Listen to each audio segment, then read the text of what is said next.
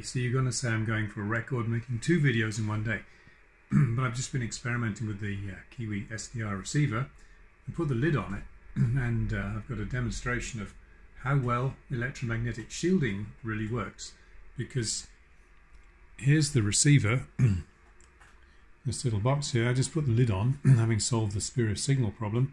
And previously I've been experimenting with different ground wires and internal grounding this case, unfortunately, is made of separate panels and they are insulated from each other by plastic strips. Let me just turn down the audio. This is another source of RF noise, by the way, this cheap Chinese amplifier.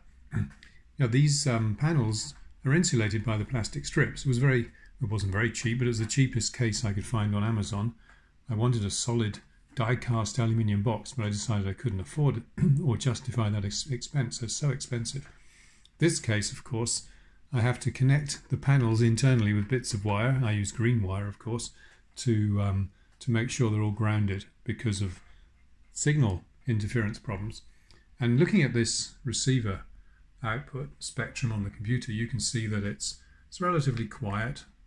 Um, those are real signals, and um, it's okay. Now, on purpose, what I'm going to do is pick up the power supply from the floor This is a switch mode power supply. Again, because an analog power supply is just too expensive these days with 5 volts. This is made by uh, Meanwell. They mean well at least. So it's a Meanwell power supply which is recommended as being fairly low noise.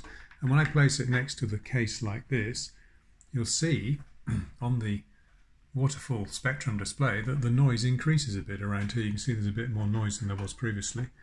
Let's just try turning that around a different way to try and couple as much noise as possible from the power supply into the receiver. There you can see that uh, I'm making different changes as I move it around. You can see the noise level changing.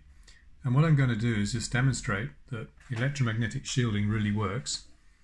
Um, what I'm going to do is I'm going to connect this ground wire, which is from this part of the case, which is connected to the whole receiver electronics. I'm going to ground it onto here I've even filed away some paint, some pretty blue paint, because it was insulating before, so that this part of the case will also be connected to the ground for the whole receiver. This wire doesn't go anywhere yet, but I've put a plug on the end of it, which is probably illegal to ground it to mains earth, but I'm not doing that at the moment. So let's just connect up this ground connection and see what happens to the noise floor on the receiver. I'm just going to hold it there like that, so it's now connected. And as you can see on the receiver, the noise level, background noise, has gone down drastically.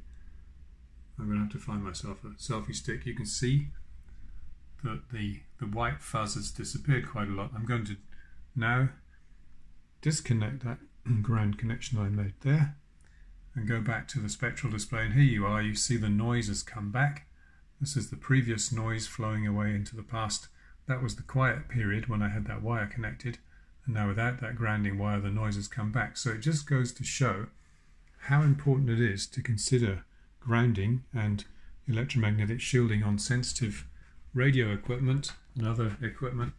These days, with so many digital sources of noise around with computers and phones and goodness knows what, the, uh, the RF spectrum is very polluted. So we need to do everything we can to try to reduce the amount of noise that can get into a, a sensitive piece of equipment like that Kiwi SDR receiver and really to think about grounding issues and shielding for electromagnetic compatibility, EMC, to reduce electromagnetic interference. So that's enough for now. Let's see what else I discover today. Thanks for watching and remember to like and subscribe. Click.